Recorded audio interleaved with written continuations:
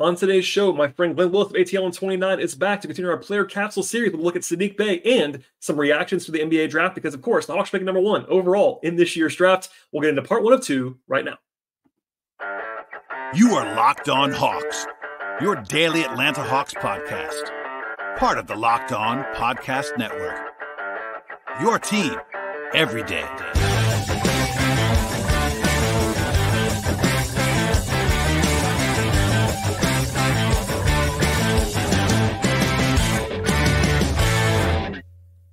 Hello, friends. Welcome to episode 1719 of Locked On Hawks podcast. I am your host, Brad Rowland, coming to you on a Sunday into Monday. And today's show is brought to you by the folks at Prize Picks, the easiest most exciting way to play daily fantasy sports. The place to go is prizepicks.com slash NBA and use code NBA when you get there for first time deposit match up to $100. Check it out now at Prize Picks. Also, want to encourage you at the top of the podcast, as I always do, to make us your first listen each and every day. Check us out and subscribe to Locked On Hawks anywhere you might find your podcast. That includes Apple and Spotify and Overcast on the audio side, as well as YouTube on the video side. And I'm joined today for a two part discussion by my friend Glen Willis of ATL 129. Glen is plugged in all the time on the Atlanta Hawks.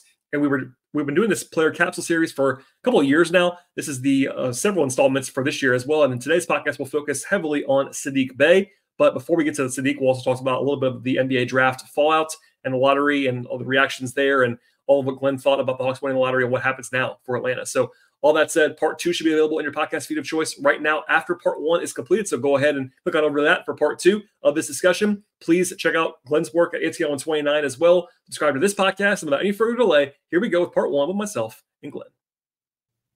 I am joined once again by my friend Glen Willis. Glen, how are you on this fine weekend? Yeah, good. Uh, been lots to talk about since the ping pong balls uh, you know, fell the Hawks' way a week a week ago. But I know we're going to steer back to our traditional kind of player capsules, but uh, we'll have to be compelling uh, to uh, hold people's interest because all everybody wants to talk about now is that pick. Yeah, I'm trying to at least pace myself a little bit here. I think people haven't quite realized how long it is from the lottery to the draft. And if all you do is talk about Alex Sarr for six weeks, I think people will be excited about that. But on some level, there's only so much you can say about any single prospect. And we're still going to do plenty of draft content, but uh, people do enjoy these player capsules. Uh, since you're here, you mentioned it. Like we haven't talked in this form, you and I, since the lottery happened. I wonder kind of what your takeaways are, broadly speaking, because you know I talked about this a lot with Tyler on the last episode um, of this podcast, but it's like it makes it already pretty impactful summer even much more on the spotlight. It feels like there's even more attention and more more pivot points and really more impact on the whole is kind of where I am. The most interesting aspect of them winning the lottery is, you know, when you look at the trade they made with San Antonio, the status of their draft picks. You know, a week before a week ago, I would sit think, what is the real next opportunity to fundamentally change the roster, fundamentally improve the roster? What is that opportunity going to be?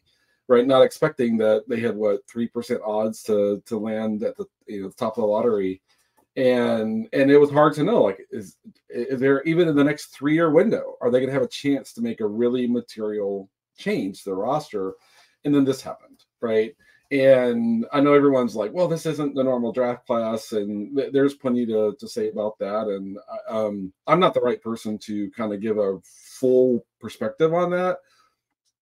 There's a lots of draft experts out there. Go go read everything and listen to everything Sam Vecenie puts out. Right, it's just a starting point. There are others too but but for me, I mean, I mean, those of us who are wanting to provide some perspective to Hawks fans have had to go look at the five or six players that are kind of projected to be potentially at the top. But to me, the most interesting aspect is that I didn't know if in the next three years they'd have a real opportunity to kind of do something significant, and now they do. Right? We'll see what they do with it, but that that this is that, that makes this summer that much more important for them to navigate really well because you don't get these opportunities that often. Yeah, and not to overstate it, but because they owe their draft for the next three years after this, this is it, it already was got an important pick just to add to the pipeline because you know I, I will be the one I'm sure cautioning people not to put undue expectations on any rookie in particular, but with it, with number one overall pick and all that stuff. But it is their it's their last draft pick that they have a hold of at, at the top until 2028. I mean that's that's the re- right now. I know there's this scenario where they trade with San Antonio or whatever. But and, until that happens, which is unlikely, no matter what no matter what anybody thinks, that's very unlikely to happen. Where they get their own picks back, they're they're not in control of their own draft. So that I mean, it was already going to be important, and it already was going to have this spotlight on it. But I think people that kind of realize like, hey, this is their last potential high draft pick for four years. Even if obviously you you look, we all know you want to be winning games and you want to be picking in the 20s. That ideally you want to pick in the 20s every year. but they haven't been there for a while. So it's like, all right, we have this one premium chance now. And um, that kind of just throw, gets thrown in the mix of everything else because as you and I have talked about and we'll talk about, they have other decisions.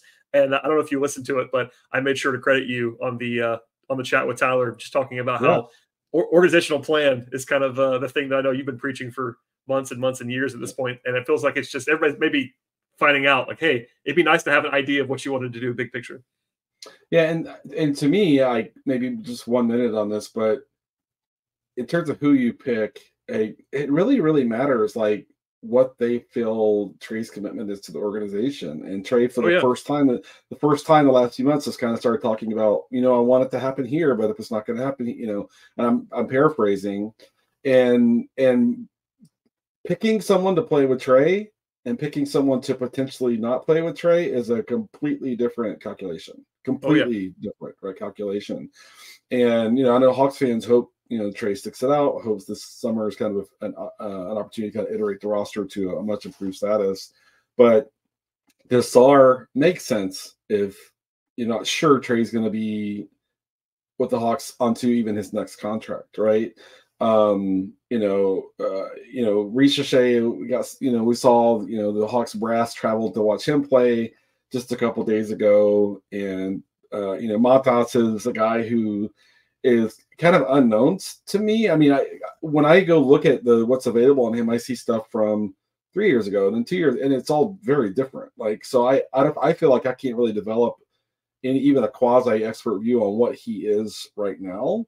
Um, but there's a lot of enthusiasm around him, and some people are interested in kind of clinging and you know and stuff. But for for me, it really does kind of come down to what are we anchoring this roster to? What is the centerpiece, and do we feel like Trae is going to be with us the next five years, whatever number of years, so that we can kind of function with that being the foundation that we're trying to build around, um, or you know, is there converse, is there hints or concern that you know Trae's not going to necessarily kind of be committed if they can't kind of get the, this team winning a lot of games next year. And I, th- I think Trae has said it's simple as that. I want to win, and I think win. if they can kind of develop a roster that's going to win a lot of games, I would guess things are going to be fine. If for some reason they can't do that, they're not using the MLE, they're not you know using all the financial resources, all that sort of stuff. Then I think next summer could be super super interesting. But that's a massive factor in which way they decide to go with the first pick. No, it's good context as well because you know I referenced on the last solo show that I did as well as with Tyler that you know the Hawks are going to want to talk to Trae, and that's something that Shams talked about in pretty plain terms on a, on a report that he had this last week. And some of the pushback, as you might expect, is like, well, why why would why would a player make this decision? It's not about him making the decision. It's exact. It's a whole range of things. Number one, he's the franchise player until he's not. So that guy is always part of the decision making process. I'm not, you know, there's obviously varying degrees from like actual control to input to we want to at least run it by or, or uh, there's you know that's always up for debate. But what you just pointed out is almost more important. It's like you know there are always challenges or opportunity however you want to frame that to building around a guy like Trae. He is limited in certain certain respects. And if you know or you're very confident that he's going to be your guy moving forward you might prioritize different things it's just you know Alex Sarr might be a better fit next to Trae than without Trae. For just to use the most practical example of a guy who everybody wants to talk about right now, it's easier, especially with the rest of this roster, to look at Alex Sarr and get excited if you know you have a A plus level offensive engine at point guard that can set up everybody. You know, if you don't have Trae or if you don't know you're going to have Trae long term, doesn't mean you change your pick but it is something that would be just for information purposes not only for us but for for the organization. Like i think that you really need to have a good handle on all of your roster but especially this decision in the backcourt to inform your draft pick. And at the end of the day you still take the best player. If there's a if there's a tier gap on Landry for uh, on Landry Fields' board you know you take the guy that you think's the best player. But if it's close or if these guys are in the same tier you'd be silly to ignore the context And that doesn't mean like it's a small guard or it's not a small guard. I, I don't think that you would draft Rob Dillingham or Reed Sheppard anyway at number one overall. But, you know, Reese Shea versus Sarr versus Clingan versus ha- whichever guy you want to say it is, intuitively, some of those guys fit better on a roster with Trae, or some of those guys fit better on a roster without Trae, And that's part of the decision making process again, if it's close and if you have the information. Yeah, totally. For me, I, I have to confess. So, I, in the last I don't know a few weeks, I've read everything I can on Sarr. I've watched I think four of his MLB NBL games. So there are I don't know twenty people. There are many more. have seen twenty times more than me, right? So go listen to them.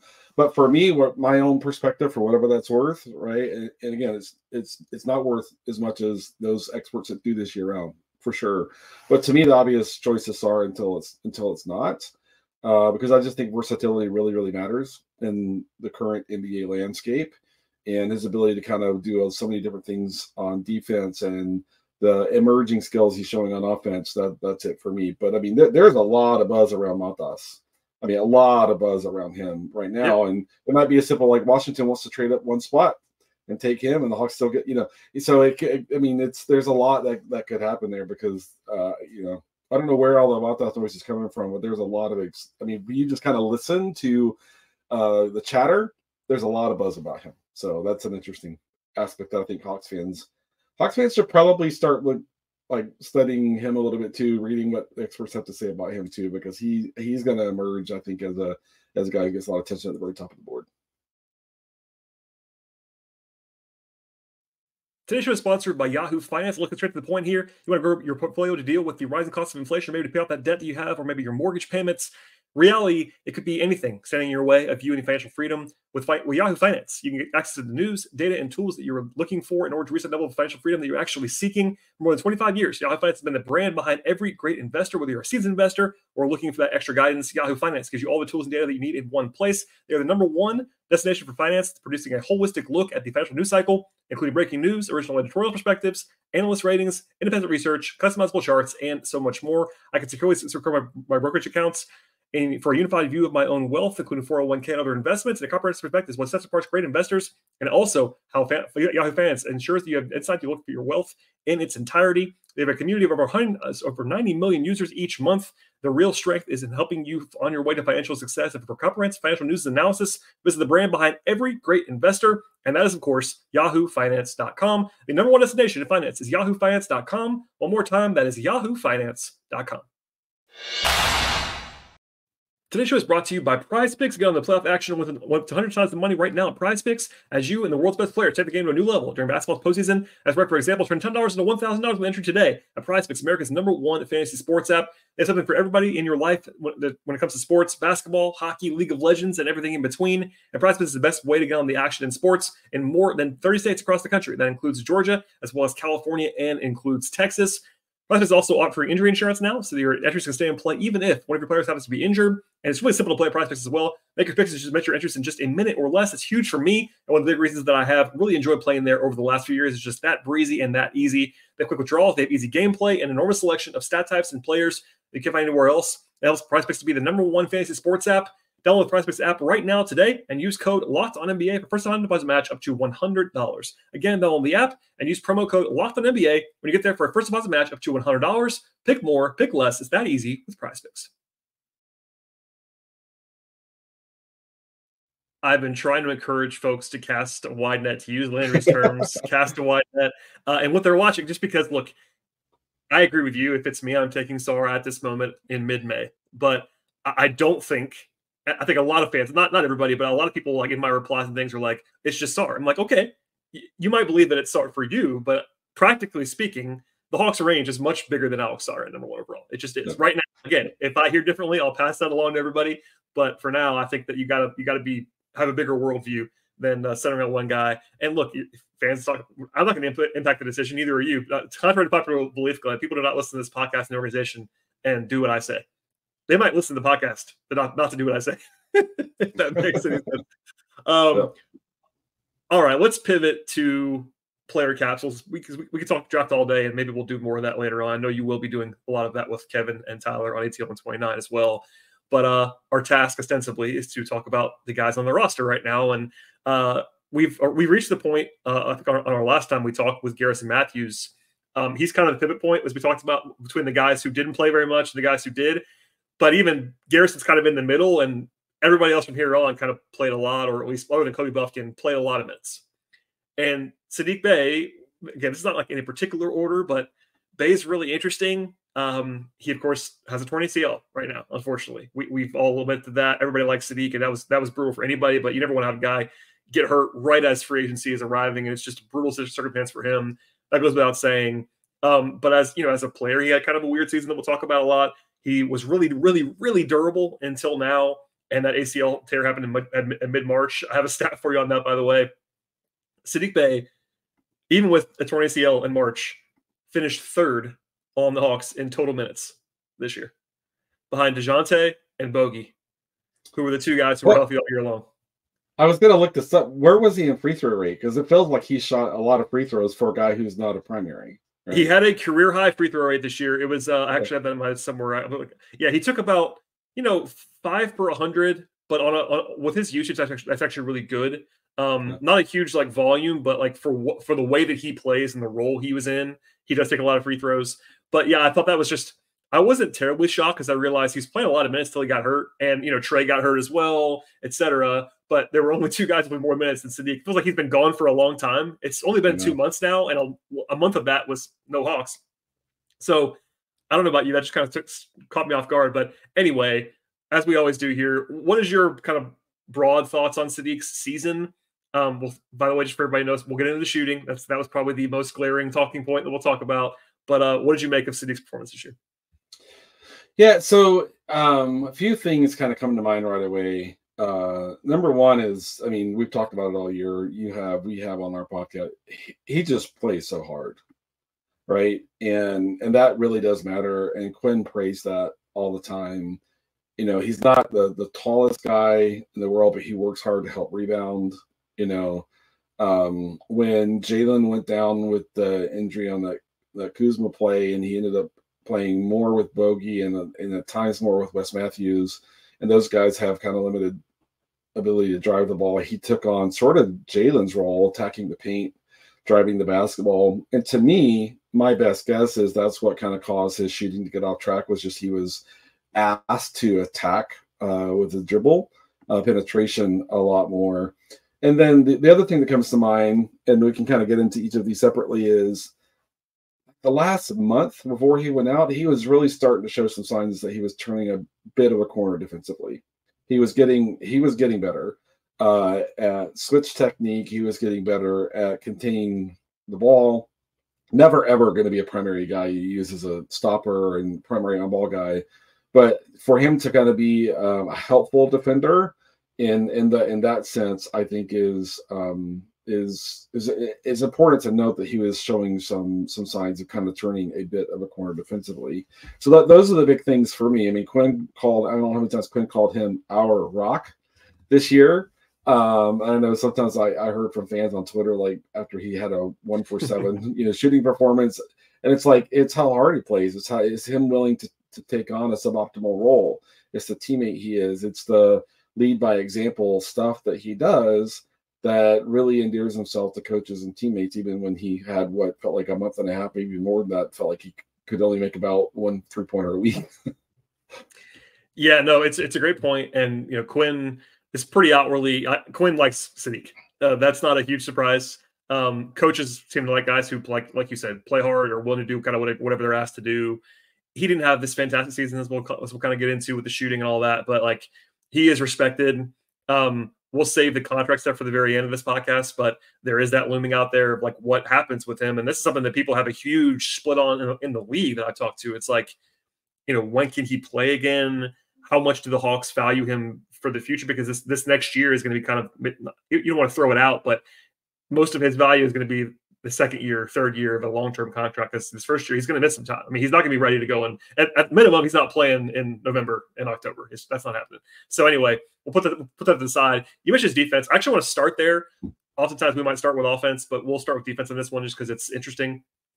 His his overall numbers defensively uh, were not very good. No, most most of the teams numbers are not very good defensively.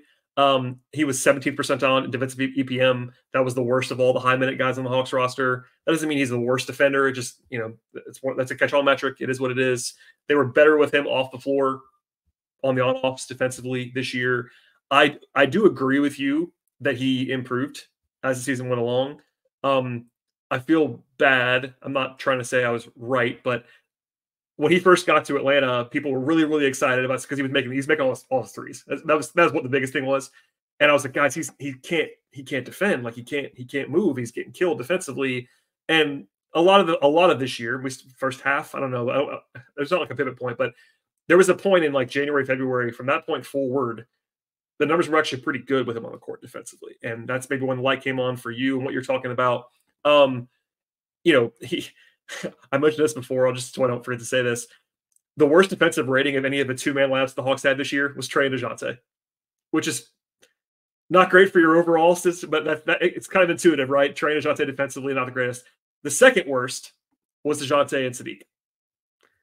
And he's in a lot of those not great two man labs. It doesn't mean that those guys are individually awful, but it's just kind of that's the picture that you paint. And there's this debate as well about whether he's better at the three versus the four people have maybe forgotten this, except for Tyler. Tyler's still mad about this right now.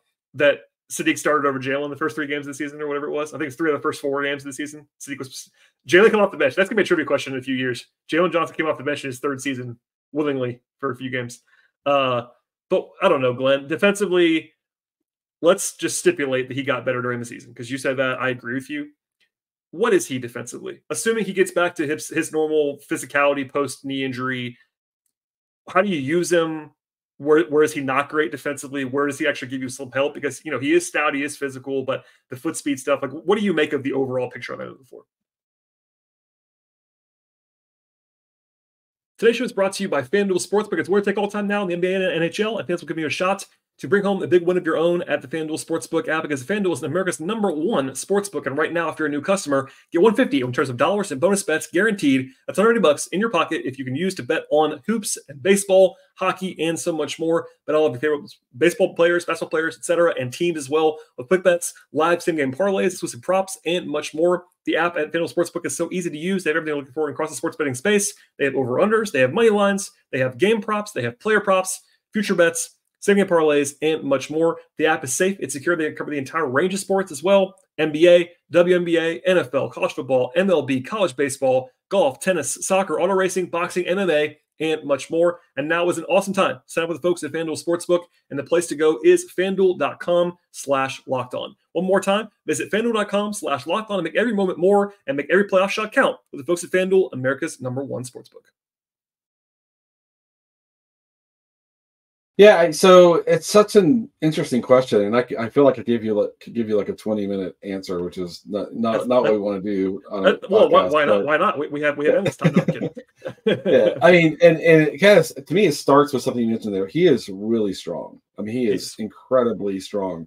So he can defend up. Uh, he can defend bigger guys than him, and and I think it helps you in two ways. One, just his strength, and the second thing is it keeps him out of space where he's not as good right? And so that's kind of a starting point to give you the flexibility to play him against a pretty big four. And when he if he's playing, you know, spending some time with the four, um, and it and it starts there. But for someone who doesn't have kind of the lateral athleticism that you prefer, um, mixed with, I mean, it's kind of funny. I mean, I, I, for me, a lot of his bad habits map back to playing on really bad teams in Detroit.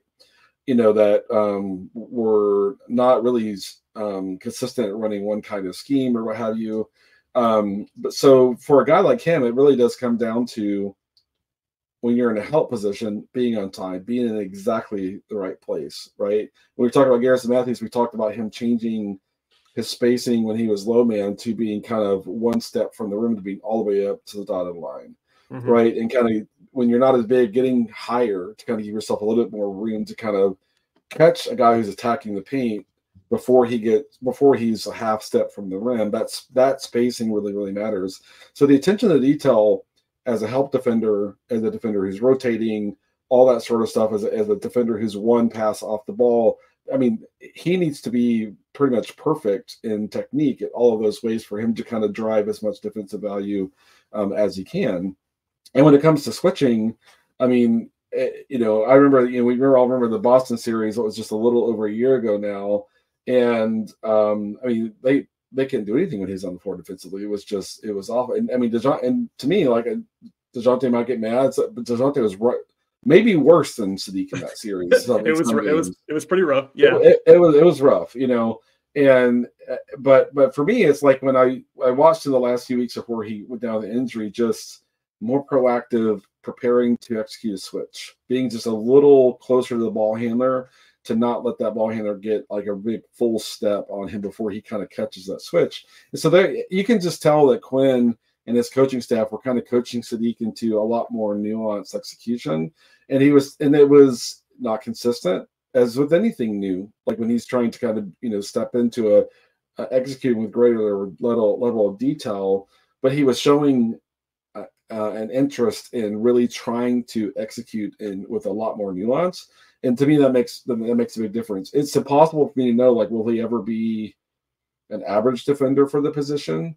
It depends upon how much you value a good help defender versus a guy who maybe is like your third choice to play at the point of attack regularly and those things. It depends upon if the Hawks are going to swing towards heavy switching lineup. So it really depends on what one values. But I think what he showed me was that he's capable of being coached into um, a mindset and, and and an effort to execute with a lot of nuance that can help incrementally drive his defensive value up higher than it's been before. Still, probably never going to be above average. Um, hopefully, uh, you know, maybe a sort of a comprehensive view with good help, defense, and all that. Maybe an average defender position one day. Don't know if that's realistic, but he was definitely showing showing some progress. It's interesting because you know uh, it's gonna say it might sound strange to say that he has limited physical tools, given that he looks like the Incredible Hulk. You know what I mean? Like Saddiq is jacked, and we talked about how strong he is. Yeah. But you know, laterally, he's not he's not quick compared to an NBA forward. He's he's not a great side to side athlete, nor a vertical athlete. He does not really get off the floor very well. He does, you know, there's there's ways, and you talk about switching is one way to do that, where like he can hold up physically against a lot of guys. But and the execution stuff, it's not the sexy stuff, and that feels it feels like stuff that you and I are prone to appreciating more than others might. Just being in the right place and making the right read and um, handing a guy off when they're supposed to hand a guy off, and just you know being a low man and actually just doing your doing your job is underrated in some respects, but it's also 100 percent necessary if you are a limited athlete, like he kind of is. Like the the way to have him be an average defender is for him to be in the right place all the time, and that's not always what I would say he has been.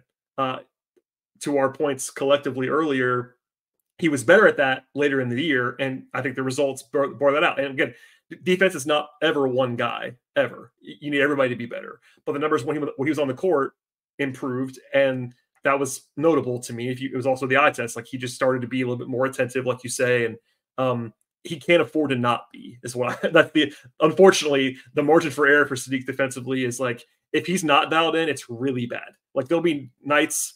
And look, nobody's great over 82 games, and he is. Maybe that's him playing every game. All it's hard. hard a lot of minutes but there there have been nights, and there will be nights for anybody where it's not as good. But he just can't. Uh, the, the, the gap there is like you're going. You're, you're hoping for average, like you just said. You're hoping for him to be an average defender.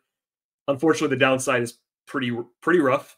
And in this team context, especially, you know, we'll put the guard discussion again for a later date. Um, they've been so not good at the point of attack for multiple seasons now that you can't afford to have that guy at the fourth because look, see, he's not a point of attack defender we'll just say that out loud. Like he's not. He, you might have to be in a situation, but who's available, where he's got to guard one of the primary-ish forwards on the other team. You don't you don't love that, but he's never going to be a guy flying around screens. Like that's not really what he's going to be able to do.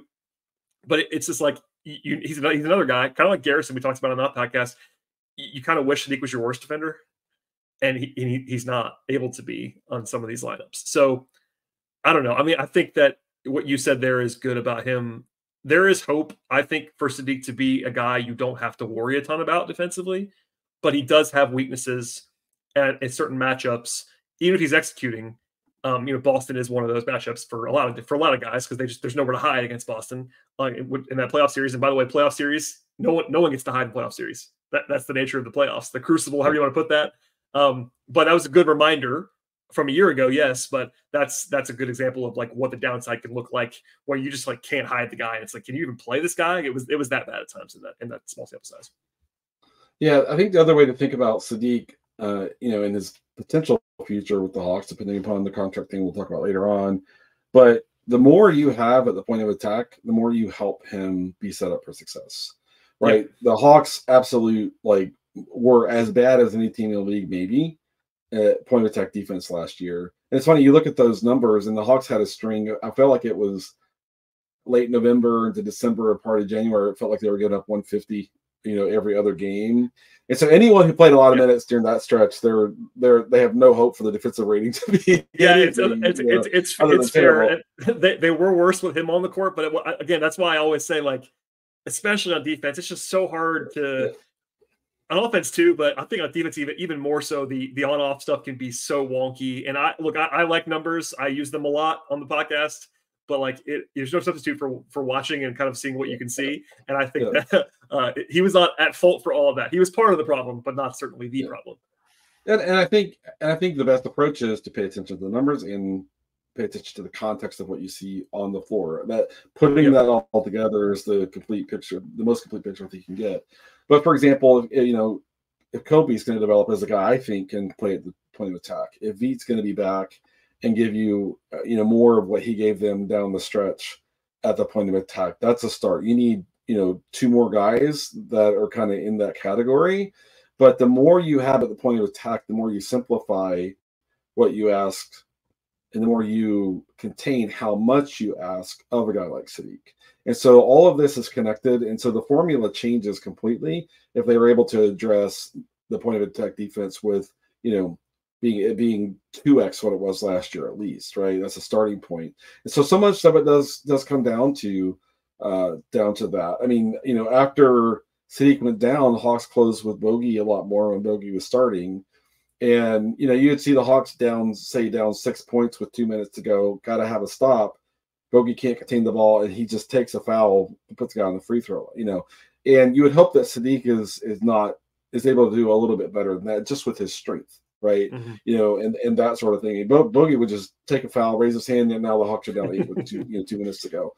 And I, and Bogi adds a ton to what they do holistically, but closing with him on defense is super problematic, especially in the, the roster construction they carried through the season last season, right? Yeah. But similar to Saddiq, you know, with Bogi, the more you have the point of attack, the more you set him up for success. And Saddiq is a different defender. He can handle bigger guys. He's stronger. He's a better rebounder uh, in, in those senses. But it's one of those things where if you don't, um, you know, have any kind of ball containment, he's gonna he's gonna struggle to kind of you know make the baseline impact that you need from a guy like him. So it's all connected. All right, that is all for part one with myself and Glen Willis of ATL and 29. Stay tuned for part two in your podcast player of choice. We should be there right now with the rest of this conversation about Saddiq Bey and all the ins and outs of his player performance this season. Please subscribe to this podcast anywhere you might find podcasts. Also, follow the show on Twitter slash X at Locked On Hawks. Follow me there as well at BT Rowland. Five star ratings and reviews always appreciated. Also write about the Hawks and cover the Hawks and the Braves comprehensively at patreon.com slash BT Rowland. I appreciate the support as always. Follow Glen's work.